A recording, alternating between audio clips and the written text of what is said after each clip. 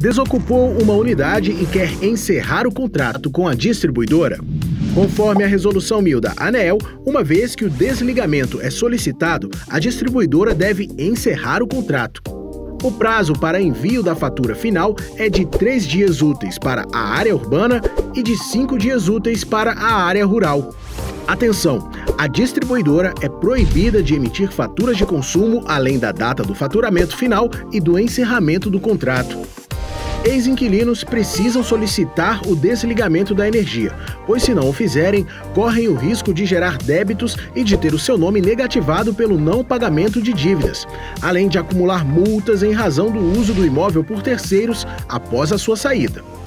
ANEEL, Agência Nacional de Energia Elétrica.